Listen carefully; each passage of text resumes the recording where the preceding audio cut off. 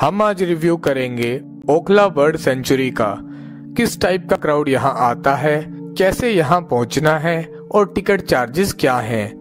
Okhla bird century Noida में located है और यहाँ आने के लिए आपको Okhla bird sanctuary metro station का फ्लाईओवर ब्रिज क्रॉस करना है। उसके बाद आपको राइट साइड चलना है नाले के पैरेलल में। और कुछ ही देर में राइट साइड में आपकी ओखला बर्ड सेंचुरी आ जाएगी। यहाँ कोई कार पार्किंग नहीं है तो आप मेट्रो या टैक्सी से ही आए। टिकट की बात की जाए तो पर पर्सन तीस रुपए की टिकट कटवानी पड़ती है, और अगर आप किसी भी टाइप का कैमरा लेके आ रहे हैं, चाहे स्टिल्स हो या वीडियो, लार्ज हो या स्मॉल, आपको सीधे सीधे पाँच सौ रुपए की एडिशनल टिकट लेनी पड़ेगी, जो कि बहुत ही एक्सपेंसिव है, बट टोटली वर्थ इट है, अगर आप यहाँ फ़र्स्ट टाइम आ रहे हैं। कैमरा टिकट के साथ आप ट्राईपोर्ड भी अंदर ले जा सकते हैं। ओखला बर्ड सेंचुरी दिल्ली, उत्तर प्रदेश के बॉर्डर पे लोकेटेड है और यहाँ पे आपको लगभग 300 स्पीशीज ऑफ़ बर्ड्स देखने को मिलेंगी। 1990 में गवर्नमेंट ऑफ़ उत्तर प्रदेश ने साढ़े तीन स्क्वायर किलोमीटर का एरिया यमुना रिवर पर डेजिग्नेट किया था बर्ड सेंचुरी के लिए, under the wildlife protection act 1972 ये बर्ड सेंचुरी ऐसी जगह पे लोकेटेड है, जहाँ यमुना नदी एंटर करती है उत्तर प्रदेश में दिल्ली से निकलने के बाद।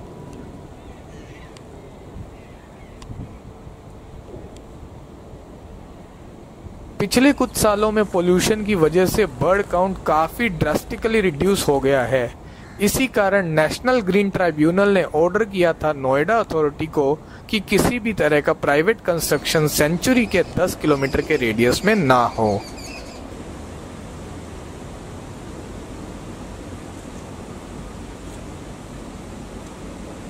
ओखला की 300 स्पीशीज ऑफ़ बर्ड में कुछ critically endangered species of vultures भी शामिल हैं। अगर आपका लक अच्छा है तो सारस क्रेन भी देखने को मिल सकता है।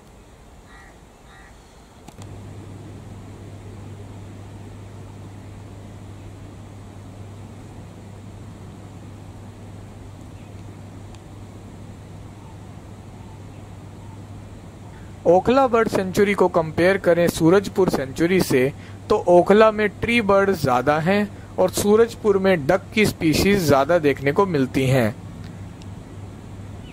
क्राउड 90 परसेंट कपल्स है और सिर्फ़ 10 परसेंट एक्चुअल नेचर इंथ्यूजियास्ट आते हैं।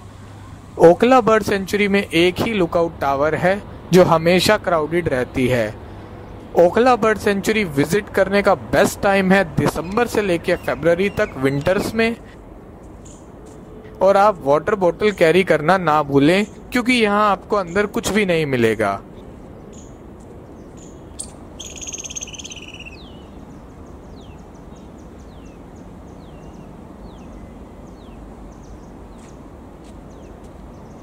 बर्ड्स के अलावा अंदर काओ, बफेलो डॉग्स नील गाय देखने को मिलेंगी।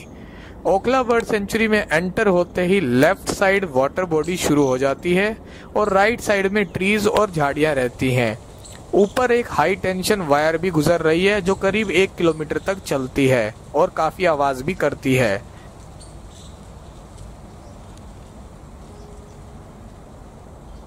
ओवरऑल प्लेस काफ़ी सेफ़ है और अंदर आपको पेड ई रिक्शा भी मिलेगी। तो इसी के साथ आप करिए इस वीडियो को एंजॉय नेचुरल साउंड्स के साथ।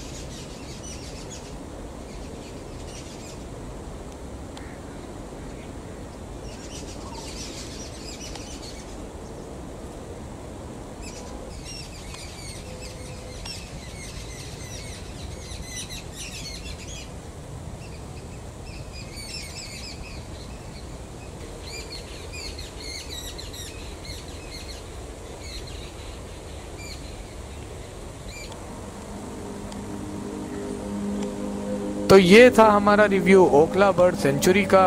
उम्मीद करता हूँ आपको वीडियो पसंद आई होगी।